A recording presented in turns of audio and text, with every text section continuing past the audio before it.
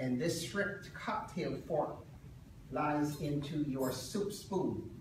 And that is the table setup. So if you see things lying on the table like this, then you know that that's what's gonna, happen. So, and this is also how you count down your courses. Uh, when you hear people saying, I'm gonna have a five course meal or I'm gonna have a seven course meal, you're counting down those, those courses by the manner in which the table is set up.